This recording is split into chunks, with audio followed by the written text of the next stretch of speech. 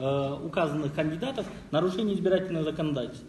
Если таковые вы установите, вы, вы примете решение.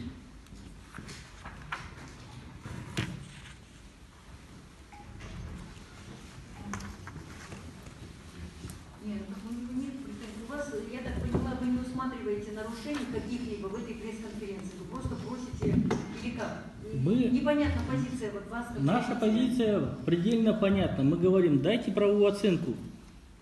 Если в выступлениях каждого кандидата нарушение требований избирательного законодательства, э, согласно действующему избирательному законодательству, Центральная избирательная комиссия обязана обеспечить законность. И центральный, э, в обязанность Центральной избирательной комиссии входит э, выявление и установление этих фактов нарушений.